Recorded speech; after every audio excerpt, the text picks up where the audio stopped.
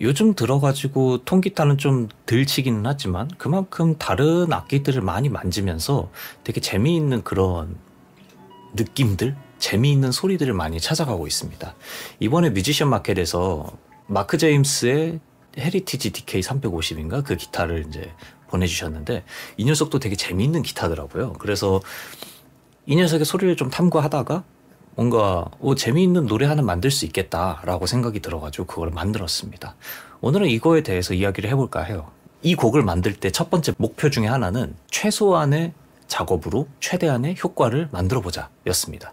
그래서 일부러 기타에서 녹음 받을 때에도 평상시보다 조금 더 gain을 올려서 받고 이펙터도 리버브 하나만 쓰는 걸로 그렇게 좀 challenge 아닌 challenge를 좀 해봤습니다. 그래서 이거를 다음 섹션에서 어떻게 했는지 간략하게 보여드릴 건데 이 좀 몽환적인 계열의 곡들을 요즘은 많이 쓰다 보니까 그런 분야 한정으로는 아 이 방법이 먹힐 수도 있겠다라는 생각이 좀 들었어요. 그래서 되게 좀 그쵸 뭐 별거 한 것도 없는 것 같은데 묘하게 멋있는 약간 그런 느낌으로 영상을 제작을 해봤습니다.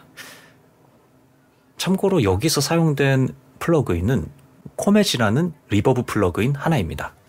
네, Polyverse에서 나오는 Comet인데 아 되게 좋은 reverb더라고요. 그래서 나머지는 다 볼륨으로만 조정을 했으니까 여러분들이 이 점을 참고해 주시면 될 것 같고요.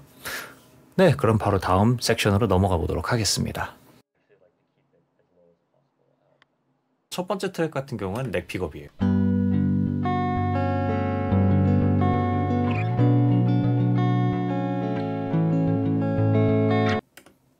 그 뒤에서 이렇게 깔아주는 그런 느낌으로 확실히 neck pickup이 조금 더 어울리겠다 싶더라고요. 그리고 middle pickup으로는 high 멜로디를 좀 찍었어요.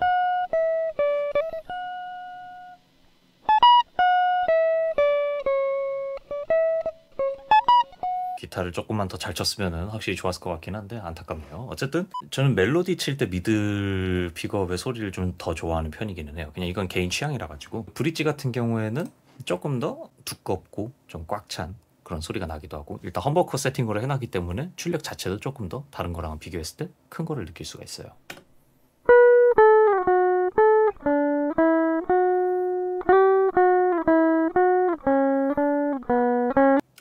약간 이런 느낌으로 설계를 해서 이거 세 개를 다 같이 들으면은